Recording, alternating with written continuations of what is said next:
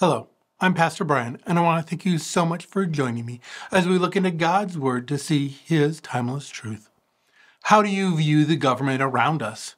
What is your thoughts concerning them? Thinking that, all right, if you have trusted in Jesus Christ, then our, our, our, our kingdom is in heaven. We're aliens, we're strangers. But yet, we are still here. We're still in the midst of people. Uh, Christ has not returned. We're still desiring to want God's word to go out. So, how we listen and obey the government does it matter if it's a good government or a bad government? Well, we'll look into some of those things as Romans chapter 13, 1 through 7 addresses that. Before we dig in any further, let's go ahead and go before the Lord in prayer. Dear Lord, help me have the right words to say, and those that are listening have hearts and ears to hear, Lord, of how we should view the governing authorities. It's in your name we do pray. Amen. All right, here in Romans chapter 13, we are going to be looking at how should we view ourselves in light of the government which is over us, that has authority over us. So if you're living in the United States, how do you view the government that's over you? How do you view your local government, those that are put in authority over you? Does it change how we respond if they're good, if they're mediocre, or if they're really bad? How does that change how we engage and interact?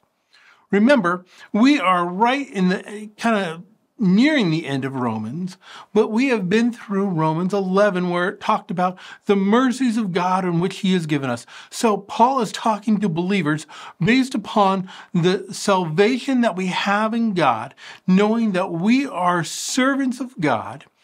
God has the right to guide and direct our lives. And so last time we were looking at how do we engage with people? How do we love our enemies? and not do evil towards them. And that's a hard thing to do. Well, today will be a reminder of really what does it look like for you to engage and interact with the government that's around us, knowing that of what God says of it will shape and change maybe how you view those that are in authority over you.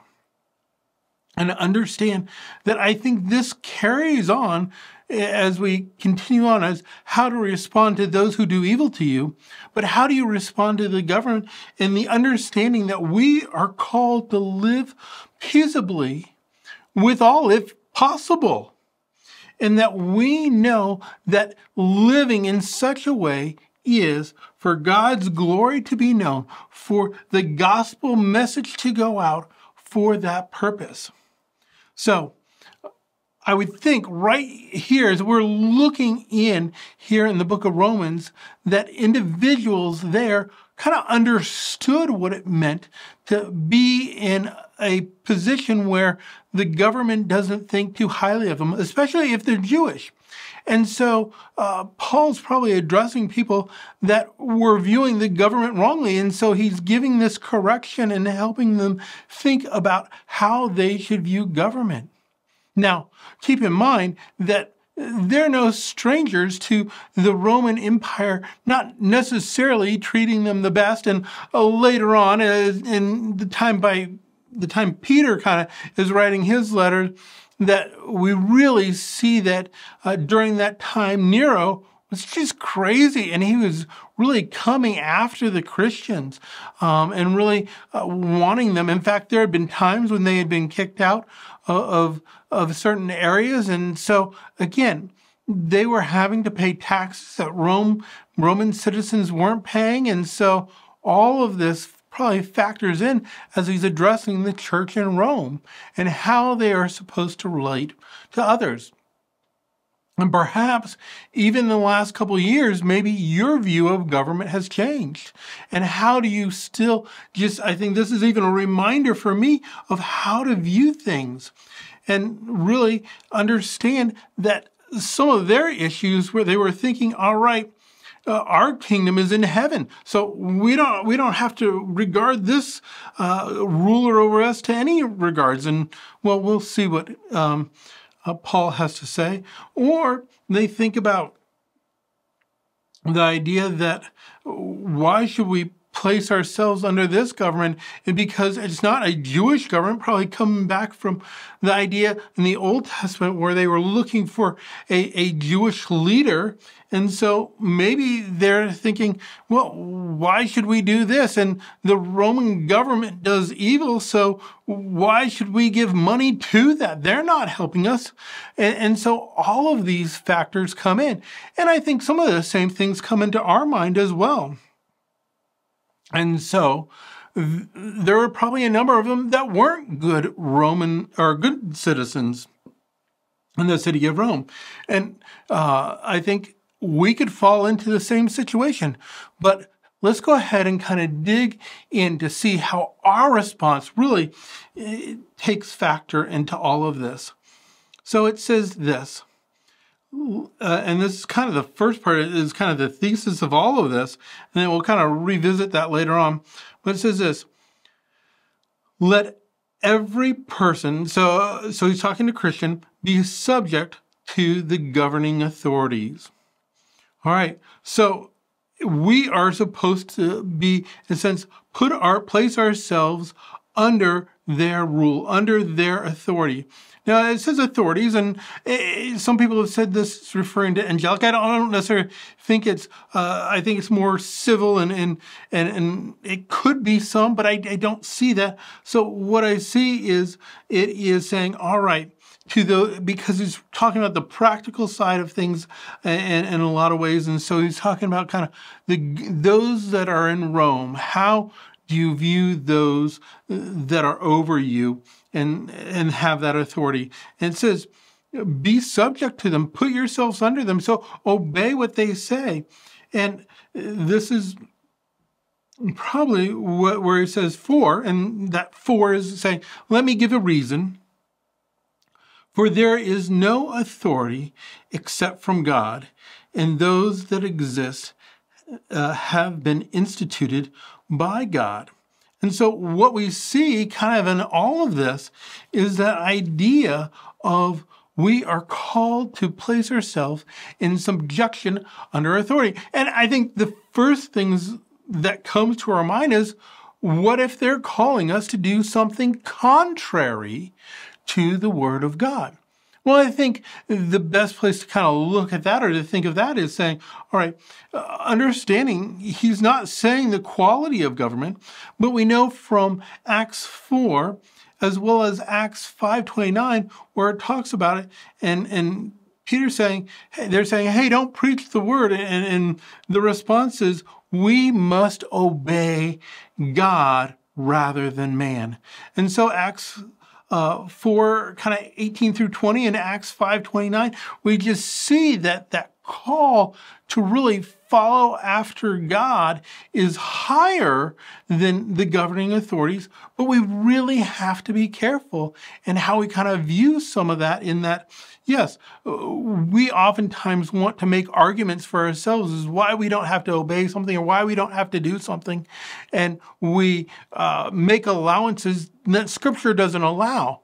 But when it comes to a clear case of if the government asks you to sin, don't sin, don't go against God. And so that those things are clear. And again, we can see that even those governments that are evil, God's against them and God will cause judgment to come upon them. In Psalm 34 16, it says, The face of the Lord is against those who do evil. Uh, to cut them off uh, the memory of them from the earth. And so we see that those that are in authority, those that do wrong, that God doesn't like it. He, he doesn't care for them. And that God has a purpose. Think even back to the Assyrians and the Babylonians. God used wicked people to bring about his purposes that people would come to know him, to, to, to discipline them. And so we also see in Isaiah 5:20 it says this, woe to those who call evil good and good evil. All right, and it continues going on. But ultimately, what we see is that we are to honor the things of what God says about against governing authorities. Now, we'll kind of get into this a little bit later, but yes, understand when he's talking about this, he's kind of strictly going, all right, this is a problem you have. You're not obeying the, the government, the authority that's over you. This is what you're called. So all Christians are called to do this. And he gives a reason that uh, no authority except from God, that God is sovereign. He is over all, and everything is instituted by God. God does permit evil people to be in power. I mean, I think about even situations like with Saul. That again, he didn't want them to choose that, but they wanted that. And so Paul goes, or God goes, all right, here, have Saul. And he obviously, it caused problems. And, um, it's not saying whether they're worthy or not as to how, um, we're supposed to follow them. God put them in place. God is in control. So if you believe God is in control, we even understand that God, uh, as we even looked at in the last couple of chapters of how God had allowed, uh, you know, kind of the Jews to rebel, that Gent- the gospel would go to the Gentiles, and then the Gent- uh, Jews would come ahead again and be presented with the gospel in a real and unique way. And so we see that all of this is instituted, planned out by God. And so at the core of what Paul is saying, trying to say is this is God's heart. This is what he has. Uh, and so whether, whatever the president may be, whatever country you may be in, God has put that person in charge. And, and again, we don't know totally the plans of God and how He works things out, but we know that nothing gets away from God. Nothing is outside of God's view. And in that, we can say, all right, God, this is your call for my life. And our whole life is really a life of submission to God and His plan because we are called to be a living sacrifice and to follow after Him. And we understand the greater purpose is to make God's glory be known and the very fact that when we exercise our own judgment and, and try to um, do that, uh, uh, you know, punishment upon maybe authorities, that we'll do it wrongly. Now, this doesn't mean that we need to be complete pacifists. I think if, if, there's stuff that is going on, I think we need to be active and involved. We need to use the legal processes that we have before us to hold the leaders accountable. And so we should do what we should, you know, be involved to the uh, extent that God has called you to be involved. Maybe that involves running for a position. Maybe that can involves financially contributing, whatever it may be. But understand that whomever is in place, God, it didn't, they didn't thwart God's plan. And so, continues on, and it says this, therefore, whoever resists or is against uh, the authority uh, resist uh, what God has appointed. And those who resist will incur judgment. So it says, those who aren't following along, there will be punishment that will happen. It, it God's judgment will, uh, the first government's judgment will rest upon them, and then God's judgment will rest upon them. Now, it's important to understand that when we run this through, we've got to see there are times when we just can't do it. And probably the, the examples that come to my mind are in Exodus, where we see that uh, the midwives weren't going to allow the babies to die, and, and, and therefore even protecting Moses, that God would use Moses to uh, really to carry His word out. And so we see that that they didn't obey because obviously killing is wrong. And then we also see uh, Daniel three with Meshach, Shadrach, and Abednego. Uh, and then how they did not bow down and worship uh, when they were called to, when the horn, when the trumpet was blown. And so what we see is that even in that, we have when we do say, all right, this is God's call and it's not in line with what they're asking me to do, that there may be consequences, there may be punishment that receive for that. But know that God, in the end, God will judge rightly. But if we're called to obey uh, the governing authorities, and it isn't uh, against God, but we kind of shoehorn it in, that not only do we see, could we receive punishment from the local authorities, or, but ultimately from God, because He sees and knows what's right. And so we need to search the scriptures out, be prayerful about all of those times. God will judge the wicked rulers rightly, and we have such a hard time at that. And one of the things that uh, we're even even think about is uh, Romans nine seventeen, where it said this: "For Scripture says to Pharaoh." For this per- very purpose, I have raised you up that I might show you my power in my power in you, and that my name might be proclaimed in all the earth. So God's purpose, even for Pharaoh, was for the spread of, of his, his name. And again, God can do that again. And so we even see how God, even the, the wicked are captive to God's plan and God uses them. And so it says, don't, re- don't resist, you'll incur judgment. And so it continues on in verse 3. For rulers are not a terror to good conduct, but to bad. Now, th- this is a normal situation. If those that follow the governing rules go ahead and they do that, what we see is oh, you don't have anything to fear if you respond rightly to the government. And so, if you if you don't respond correctly, you will have fear. And, and that's kind of where it gets into it. As it continues on in verse 3 Would you have no fear of the one who is in authority? And again, think about that. We want authority because if there was no authority, and obviously God has established authority, what is it? It's either mob rule or anarchy. And mob rule and anarchy is no good. I mean, that that is terrifying to think about that. Um, so we, we, we obviously see that God has used government. God has used plans. Even as you think about with Moses and all of those things, it's just how God has used governments and institutions and those in leadership positions for the purpose of protection. And that's normally what they're called to do.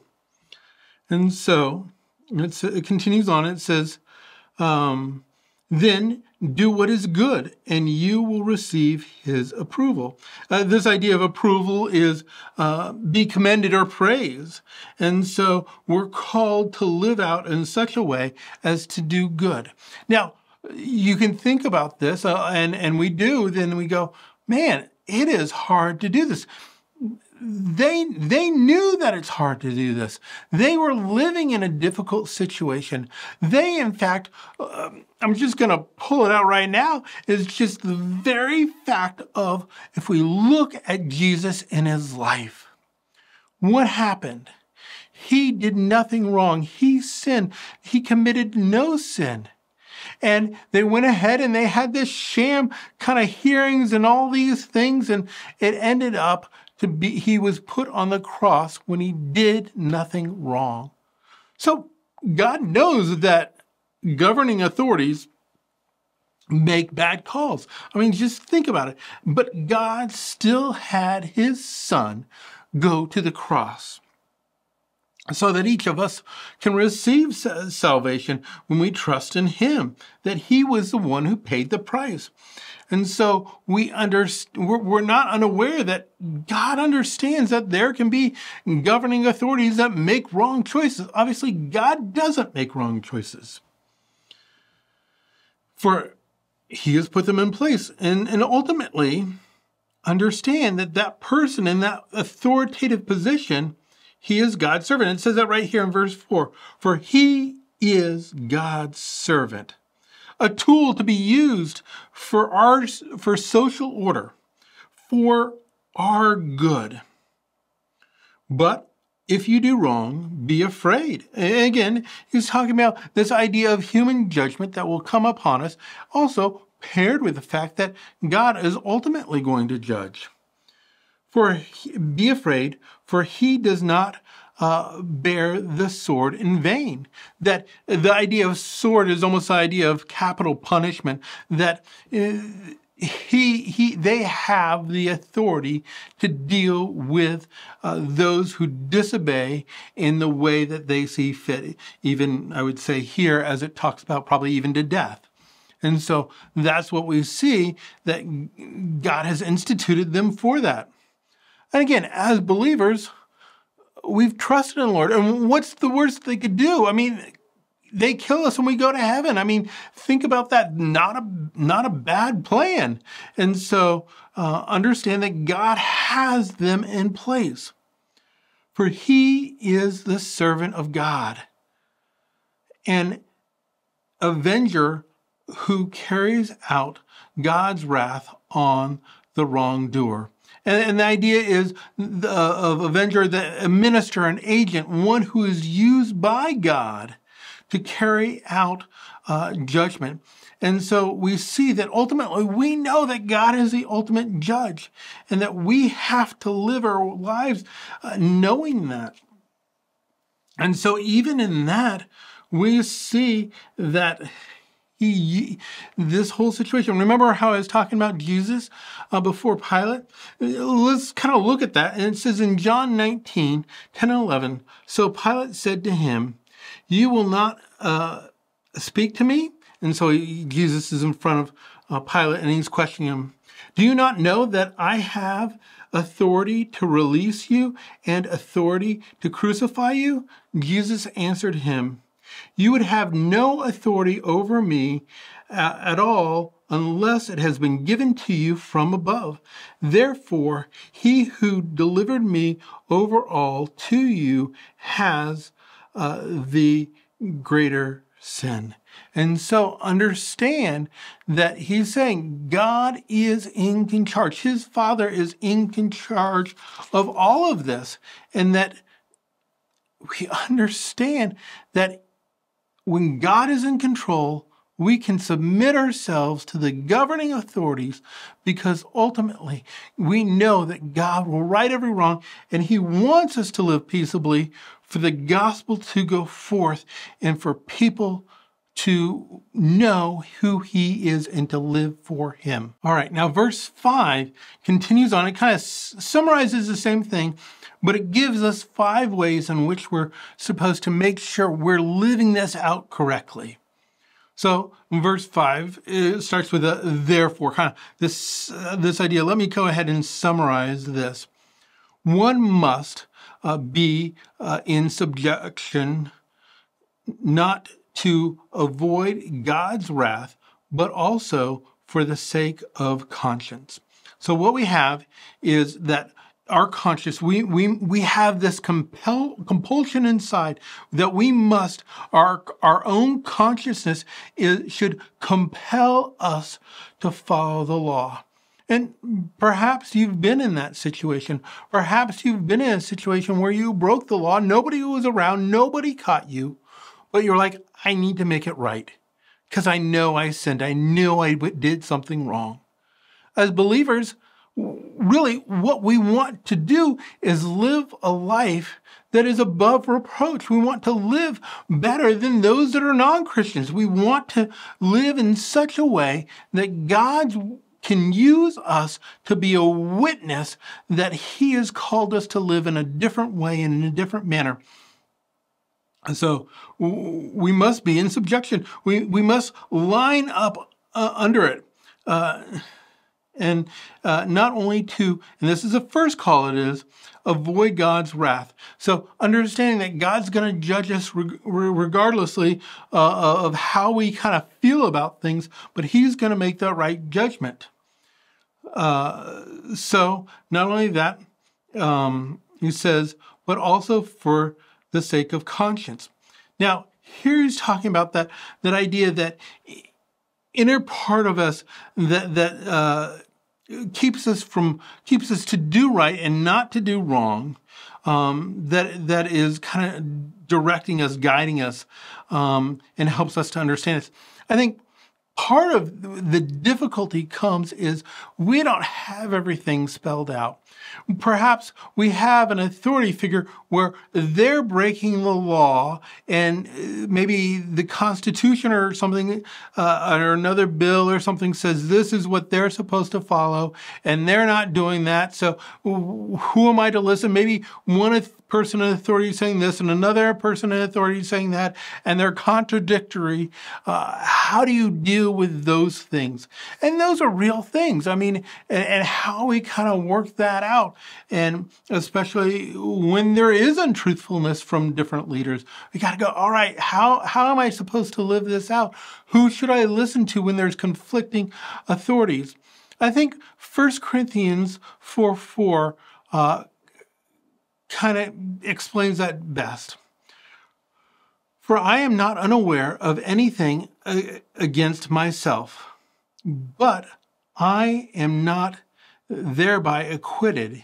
It is the Lord who judges me. So when we make that call about am I going to, who am I going to follow if there's conflicting ideas or, or something else is in the mix? First off, we need to go before the Lord with it. Lord, what would you have me to do? And know that even here, you thought, all right, I, I don't see anything wrong. I don't think I'm doing wrong. But just because you don't feel like you're doing wrong doesn't mean you don't do wrong. And ultimately, uh, if you feel like you're not doing wrong and you are doing wrong, God's going to judge you for that wrong thing that you did. So I think even in situations where it's hard to know, I think we got to be prayerful and mindful of that. That our desires in our mind is, all right, how can I follow authority? Not the first thing that comes up is, how can I avoid the authority or how can I get around or how can I subvert? No, that, that's not what God has us to do. He says, all right, first do this, but if it is against God, and, and, and sometimes it's kind of kind of hard to figure out, and we have a clear conscience about that, understand, okay, go with that, but God might view it differently, and we'll have to stand in judgment that. But so so do it according to your conscience. And then he goes ahead and he continues to give other ideas of how they need to be living life out and, and being subject to the authorities. For be, because of this, you also pay taxes. All right, uh, and and there as it's going to talk here, it's going to talk about taxes and then revenue. This taxes that it's talking about is that which um, the non-Roman citizens had to pay. The Roman citizens didn't have to pay this, but everybody, when we come down to revenue, that's where everybody has to pay, and that's more in regards to things like sales tax and, and toll taxes and different things like that. But just the general taxes to the government, uh, he's saying, all right, not a Roman citizen, you, you got to pay that. It, it doesn't matter uh, what they do. And he said, but what if they don't use it for a good purpose? What if they use it? I mean, think about it. They again, they've tried to change this and all that, and and and and all that. But what if you say, all right, I can't give taxes because they use that for abortions, and I don't want to pay for abortions. Nobody does. I mean, obviously there are some, but hopefully as a believer, you don't want to have that paid for and, and, and be paying for that. And so what you what you say is, all right, this is what God has called me to do. And if I give that and they wrongly mismanage it or wrong give it to a wrong thing, then that's God's judgment upon them. You don't have to worry about it. You do what you're called to do, and then God will judge them for what they are doing. But we're called to pay taxes. Uh, and again, it's, he says, for giving that reason, for the authorities uh, or, or rulers are ministers of God. attaining to this very thing. All right, that that's what they're called to do. You you give unto Caesar what is Caesar, and, and we'll kind of get into that in a little bit. But let's go ahead and, and look at the other one. Pay to all who is owed to them taxes to whom taxes are owed. All right. So it, it, we need to understand that that is a debt that is owed to them in that uh, and we might not think it's fair, but uh, again, we can fight it in legal manners, but we're still called to do that. Uh, and then it continues on and it says, revenue to whom revenue is owed. And when you think about the particular time when the Pharisees were trying to trap Jesus, and they said, "All right, who should we get? Who should should you pay um, taxes to Caesar?" And they were trying to trap him, and and, and he says, well, "Whose face is on it?" And it's Caesar's. And so he says, "All right, give to Caesar what is Caesar, and God what is God." And so understanding that even in that, God says all right, this may not be fair, may not be right, but what we are, we're subject to those authorities and we live our lives out that way. And so, like I said, the revenue is more like sales tax and, and, and toll taxes that everybody had to do. And so we should be law abiding citizens. Um, and it goes on, it says, respect to whom respect is, is given. We are to restrain, restrain ourselves from breaking the law. We are supposed to uh, give reverence, give a sense of awe to, to those who, who are in those positions because of their position. I mean, think about that. Uh, there's a lot of times when you don't like the call that the person up top makes. And guess what? That person in that position gets to make that call. And so we can make an appeal, but we've got to be respectful and honorable in that. And we can't just um, backbite, turn, gossip, all, all that about them because they are the one in authority. They are the one in position.